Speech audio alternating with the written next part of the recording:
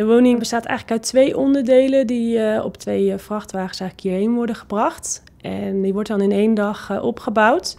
En dan sluiten we hem eigenlijk net zo aan als wat we bij een bouwkeet doen. Dus een tijdelijke aansluiting op water, riool en stroom. En we hebben geen gas in de woning nodig. De ontwikkeling van de Heijmans One is eigenlijk begonnen door inspiratie vanuit mijn eigen vriendengroep.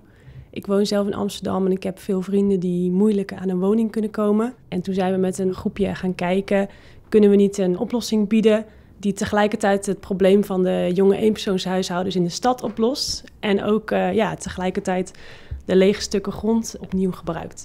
Een van de kenmerken van de tegenwoordige tijd is dat de tijd heel erg snel gaat. De technologie gaat steeds verder. Terwijl eigenlijk bouwen en architectuur hetzelfde is gebleven. We bouwen nog steeds gebouwen en die staan er nog steeds 20 jaar of 30 jaar. En toen kwam eigenlijk het idee van een verplaatsbare woning. Een verplaatsbare mobiele woning, zodat we in een hele korte tijd leegstaande terreinen kunnen herbestemmen, levendig kunnen maken.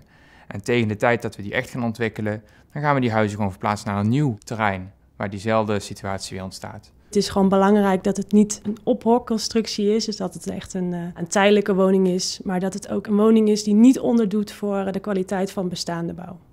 Onze lange termijnvisie is dat hij helemaal zelfstandig op een locatie kan staan, ja, waarbij hij zichzelf eigenlijk voorziet in water, in stroom en in dat soort uh, onderdelen. En ook dat hij helemaal cradle to cradle is, dus dat alle materialen die je gebruikt eigenlijk niks kosten voor de planeet.